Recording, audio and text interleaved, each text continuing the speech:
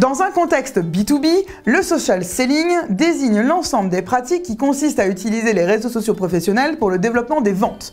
Aujourd'hui, il s'applique quotidiennement sur LinkedIn et sur Twitter. Pas de panique, je vous en parle dans cette formation des premiers pas sur LinkedIn et sur Twitter, car il s'agit surtout d'un véritable élan d'adaptation et des décennies de méthodes de vente qui ne changent pas.